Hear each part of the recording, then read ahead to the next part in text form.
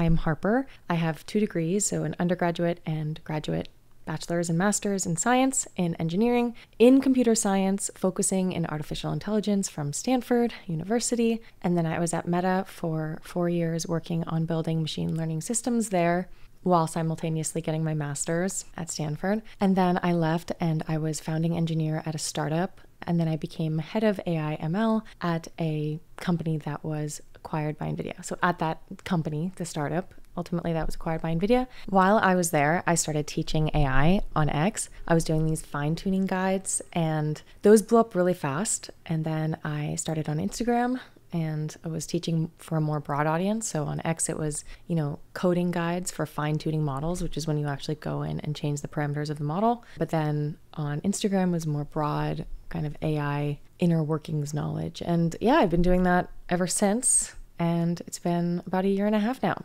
So if you're new here, welcome. RAG. Let's get into RAG now. How do we fix hallucinations? RAG, retrieval augmented generation, is one way of fixing it.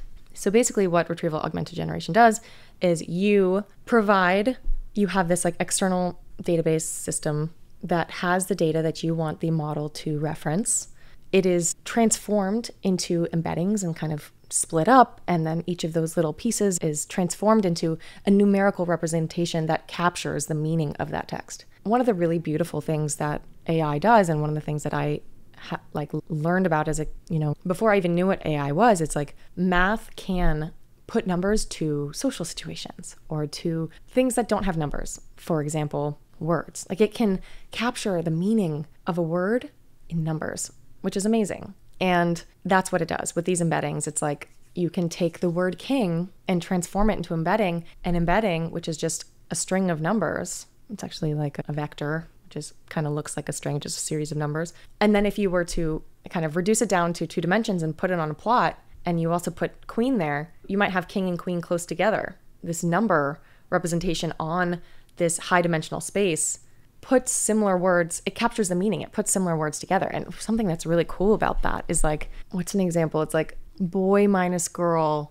is equal to king minus queen. You can actually do math on the words in a way that's like intuitively makes sense to you, which is really cool. So, like, yeah, like the vector of boy minus the vector of girl has some area between it. And then the vector of king minus the vector of queen, it might be equal to that or very close to it, which is super cool. Like you see those kinds of relationships and behaviors happen with these word embeddings. A little off topic, but what RAG does is it has this database of embeddings and then it transforms your question that you have typed into the large language model into an embedding as well, which captures the similarly semantic meaning of what you just asked it. And then it searches through the database of knowledge that you provided it and finds the most likely embedding. So again, these are our numbers. So it can actually like find like what's the most similar number here? And usually it's using something like cosine similarity with which is just a mathematical equation to find like how similar two um, vectors are. So it'll take your input, it'll look at the entire database of embeddings and match your input embedding to maybe the five most similar database embeddings or it's I mean it's up to you how you implement it, like how many you'll retrieve, but then those are added to the prompt hidden behind the scenes. It grabs that extra data, puts it in your prompt. So if you asked it about a specific legal case, given the title, it would take that, transform it into an embedding, so that title would be in an embedding, and then that title would also exist in your database as well. And so it would actually find a match for the embedding. It would grab that document, put it into the prompt so the model would receive, you know, if you asked a question about, as I said, that legal case, maybe it's like, what was the plaintiff's name in, you know, case 1642?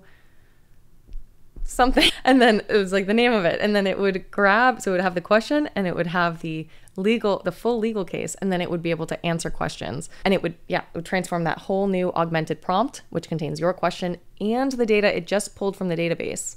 And then it would give you an output. So it has this like behind the scenes prompt augmentation going on. And so when you typically, if you are working with a large language model that searches the web, what it'll do is it will take your input, search the web for similar articles, what you've asked it, and then it will like throw those into the context of the model.